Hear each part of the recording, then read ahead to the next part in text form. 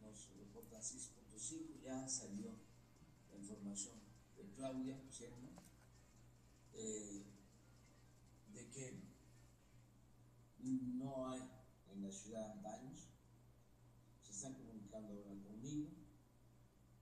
Sí, bueno, Laura, 6.9 de magnitud.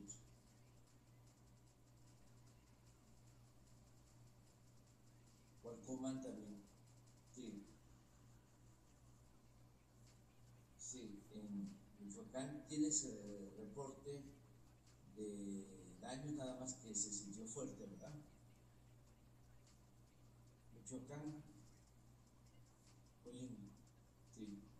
Y Claudia estaba diciendo de que ya informó que hay daños en la ciudad. Vamos a seguir este, pendientes el que recabando información. Hasta luego.